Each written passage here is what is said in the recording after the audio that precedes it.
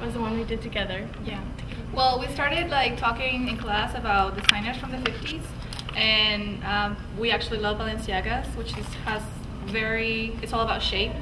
So we kind of want to go the bubble, and now it's back in fashion. So we decided to do it together because we work good together, and we just went to the store, got metallic fabrics, and put some purple in it, and it just looked very in. Well, I found the fabric at uh, Golden D'Or, and I've I really like embroidery. I've embroidered things for the past few years, and so I saw it and thought I could embroider it because it was just blank pictures, like black and white pictures on the fabric, and um, it had a very nautical theme, like nautical tattoo art. One of my favorites was actually uh, the ballerina skirt. 'cause I used to be in ballet when I was younger, and also uh, the last dress that I had, my Karina dress. Um, I basically cut up a whole bunch of pieces and sewed it together to make a top, and I really just love the the big the big skirt. I really like big stuff that stand Okay. out.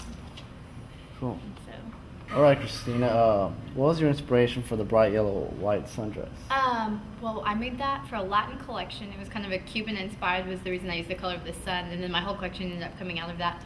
And I made a lot of sundresses and clothes you could wear outside, kind of date dresses, like daytime date dresses, White Rock Lake type dresses.